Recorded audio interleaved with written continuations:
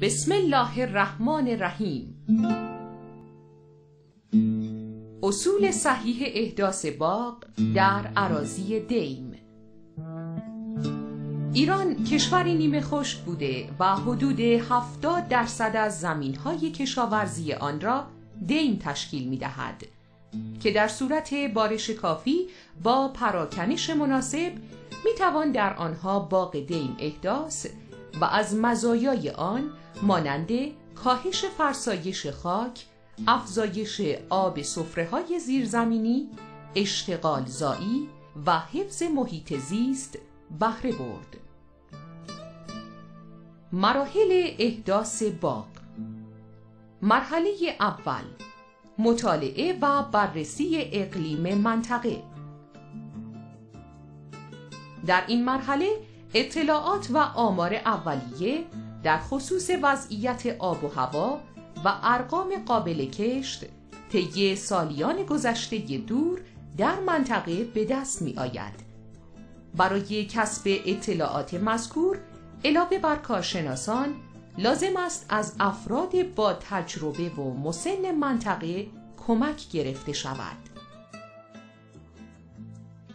مرحله دوم بررسی خاک منطقه آزمون خاک در این مرحله صورت می گیرد.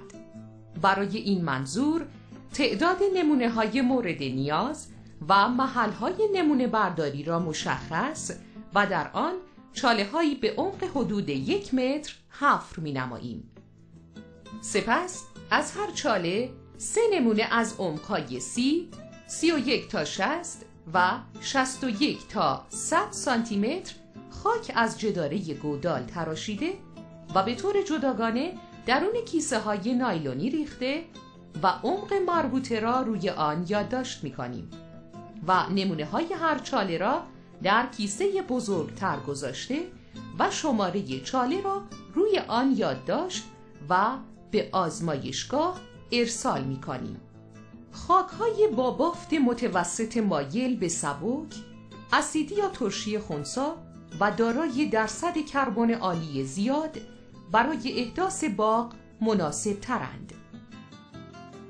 مرحله سوم انتخاب نهال در این مرحله بر اساس نتایج حاصل از آزمون خاک و با کمک کارشناسان و باغداران با تجربه منطقه ارقام مناسب را انتخاب می کنیم.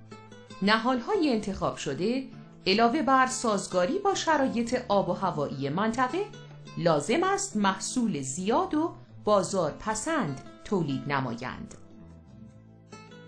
مرحله چهارم طراحی باغ ابتدا نقشه زمین را تهیه کرده و محل خانه باغ جاده بین مزارع و ردیف های کاشته درختان را بر روی نقشه مشخص می کنیم.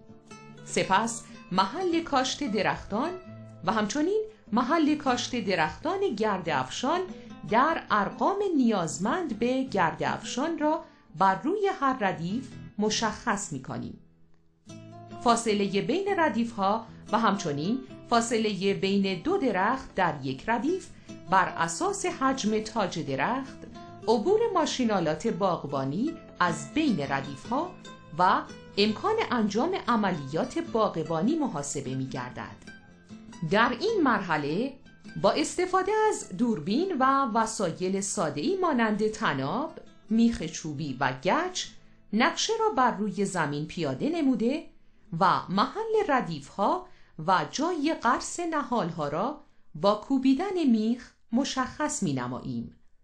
مرحله پنجم احداث چاله ها در این مرحله چاله ها را به عمق و قطر حدود یک الا یک متر حفر می نماییم. در زمان حفر چاله خاک سطحی که از نظر مواد غذایی و موجودات مفید غنی بوده و حدوداً تا عمق سی سانتی متری را در بردارد در یک سمت چاله ریخته و بقیه خاک زیرین را در قسمت دیگر چاله می ریزیم تا با هم مخلوط نگردند. مرحله ششم. انتقال نهال ها نهال های خریداری شده بایستی دارای برچسب گواهی سلامت بوده و انتقال آنها در فصل خواب صورت گیرد. ریشه نهال ها در هنگام حمل و نقل بایستی مرتوب نگه داشته شده و باد به آنها نخورد. برای این منظور یک گونی یا نایلون به دور ریشه نهال ها پیچیده و آنها را بلافاصله بعد از رسیدن به محل احداث باغ میکاریم. در صورتی که امکان کاشت سریع نهال ها وجود نداشته باشد کانال کوچکی حفر کرده و نهال ها را به طور مورب درون آن قرار داده و تا زمان کاشت یک لایه خاک مرتوب بر روی آنها می ریزیم.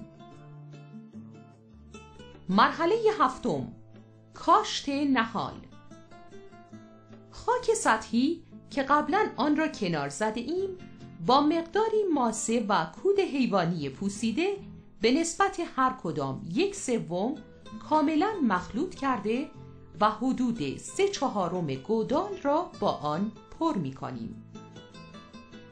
ریشه های زخمی و آسیب دیده نهال ها را با استفاده از قیچی باغبانی ضد عفونی شده هرس و سپس آنها را ضد عفونی می نماییم.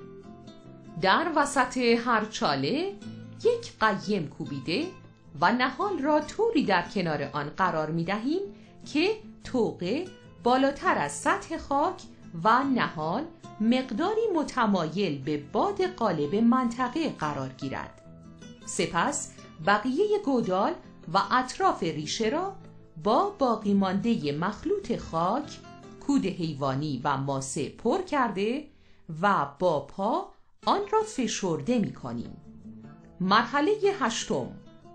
مراقبت های اولیه از نهال های کشت شده.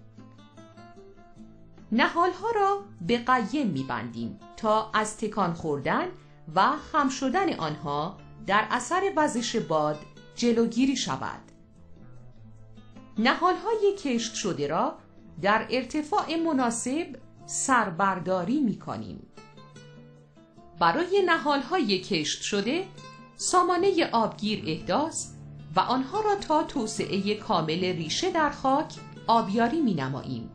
در مناطقی که احتمال آفتاب سوختگی نهال ها وجود دارد تنه نهال ها را با رنگ سفید پلاستیکی حلال در آب